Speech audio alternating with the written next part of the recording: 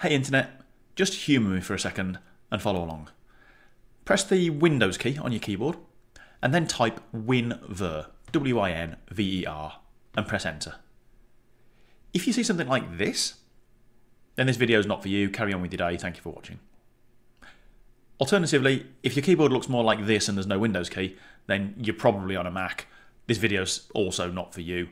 Carry on. Thank you for your attention. If, however, you see this, then this video is for you. And I'll explain why in a second. Hey, Gareth here from QCT, the tech guy with the tash and the plan to help you have confidence in your IT.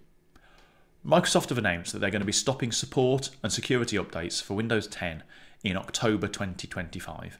So as of the recording of this video, you've got 12 months to work out what you're going to do about that.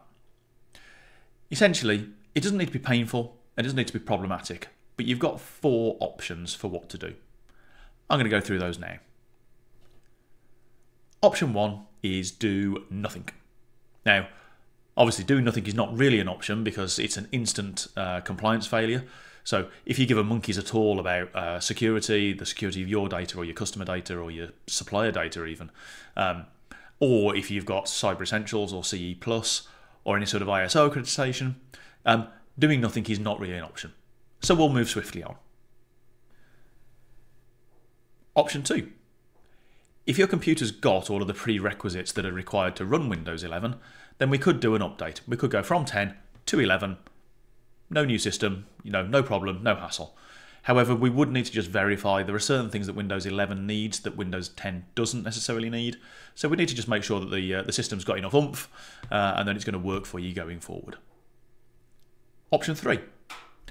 So option 3 is to replace the existing kit. Um, so if doing nothing isn't an option, which it isn't, uh, and upgrading isn't possible, maybe because the processor's not up to it or, or something else with the machine is not is not quite right, then what we're looking at is replacing your current kit with something nice, new and shiny.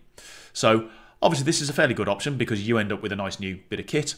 It's probably going to be faster and more efficient than your current bit of kit and have more memory and more storage and that sort of stuff. So actually, longer term, this is probably the best plan. And finally, we have option four, which is to pay Microsoft an absolute arm and a leg for extended support. Now, you're going to expect to pay more than you would pay for a new PC or a new laptop at this point, more than likely. So again, as with option one, this isn't really an option.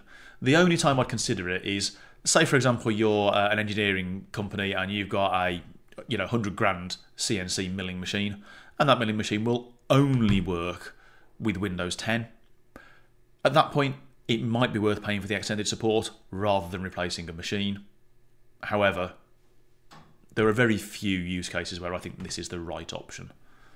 So, in conclusion, if you're currently running Windows 10, you need to get up to Windows 11. You've got 12 months to do it, but really, let's get a plan in place now. Let's get everything moving, get the ball rolling. Um, there are two sensible options. One is to evaluate your current kit and see whether it's actually suitable to be upgraded from Windows 10 to Windows 11. The other option is to go out and get some new kit. Again, doing that over a phase period is probably going to work better for everyone's cash flow, so worth thinking about now. So, if you're currently on Windows 10, or other people in your organisation are on Windows 10, might be worth giving me a shout. We can have a chat, we can look at what you've got, look at what the options are, come up with some costings, come up with some budgets, and see if there's a way that we can move you forward. I'm Gareth from QCT, the tech guy with the tash.